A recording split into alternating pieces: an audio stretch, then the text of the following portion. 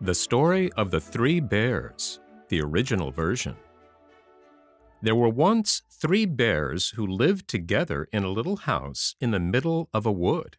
One of them was a little, small, wee bear, one was a middle sized bear, and the other was a great, huge bear.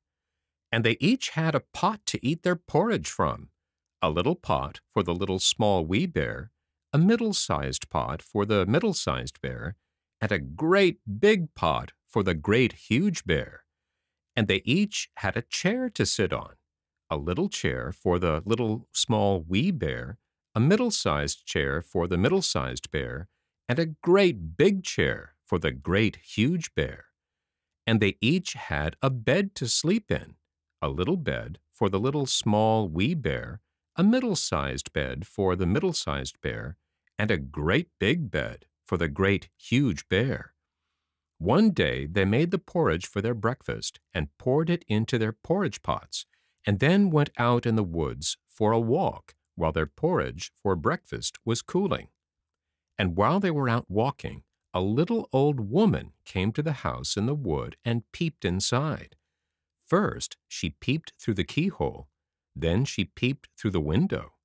Then she lifted the latch and peeped through the doorway and seeing nobody in the house, she walked in. And when she saw the porridge cooling on the table, she was very pleased, for she had walked a long way and was getting hungry. So first she tasted the porridge of the great huge bear, but that was too hot. Then she tasted the porridge of the middle-sized bear, but that was too cold. And then she tasted the porridge of the little small wee bear, and that was neither too hot nor too cold, but just right, and she liked it so much that she ate it all up. Then the little old woman sat down in the chair of the great huge bear, but that was too hard. Then she sat down in the chair of the middle sized bear, but that was too soft. Then she sat down in the chair of the little small wee bear, and that was neither too hard nor too soft, but just right and she liked it so much that she sat in it until suddenly the bottom came out, and she fell down plump upon the ground.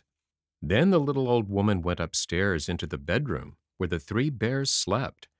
At first she lay down on the bed of the great huge bear, but that was too high at the head for her. Then she lay down on the bed of the middle sized bear, but that was too high at the foot for her.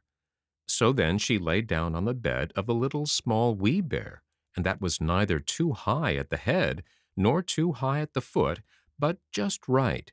And she liked it so much that she covered herself up and lay there till she fell fast asleep. By and by, the three bears came home to breakfast.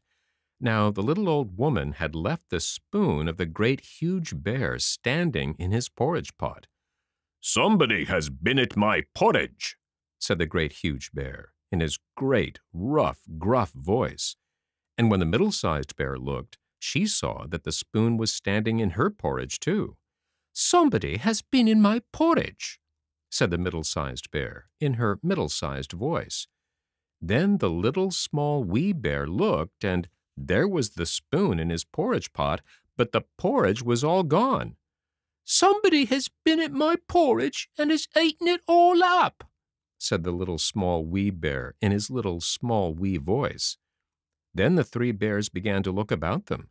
Now the little old woman had not put the hard cushion straight after she had sat in the chair of the great huge bear. Somebody has been sitting in my chair, said the great huge bear in his great, gruff, rough voice and the little old woman had squashed the soft cushion of the middle-sized bear. Somebody has been sitting in my chair, said the middle-sized bear in her middle-sized voice. And you know what the little old woman had done to the third chair. Somebody has been sitting in my chair and has sat the bottom out, said the little small wee bear in his little small wee voice.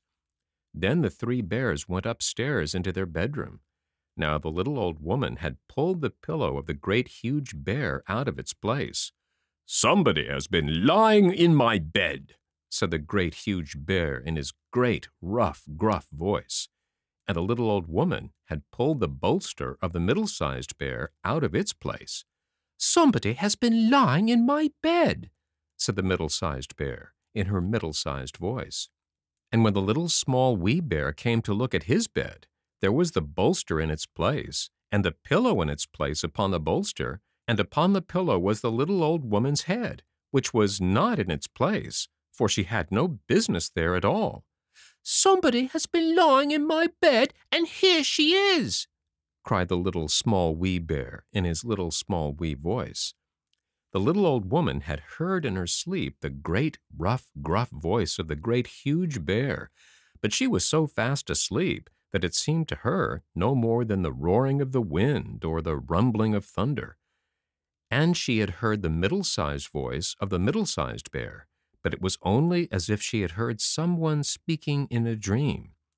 But when she heard the little small wee voice of the little small wee bear, it was so sharp and shrill that it woke her up at once. Up she started, and when she saw the three bears on one side of the bed, she tumbled out the other, jumped out of the window, and ran away through the wood to her own home.